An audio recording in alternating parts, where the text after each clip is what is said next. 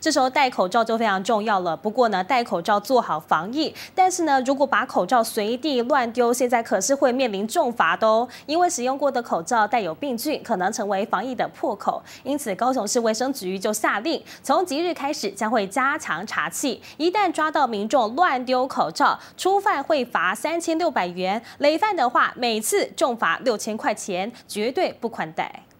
哎，真的有口罩。火车站内清洁人员小心翼翼从垃圾桶内挑出使用过的口罩装袋处理。我们会那个垃圾，我们跟资源的全部都会分类。那口罩会特别注意就对了。对，就怕口罩上带着病菌，一不小心成为防疫破口。但像这样的公共场所周边，却有不少民众把戴过的口罩随手丢。口罩都会有一两个都丢在路边掉。不止火车站、医院附近的树丛也随处可见弃置口罩。不过提醒民众，接下来可要注意了。高雄市环保局为了遏制乱丢口罩情况，将要加重开罚。环保署有公告的话，就是第一次。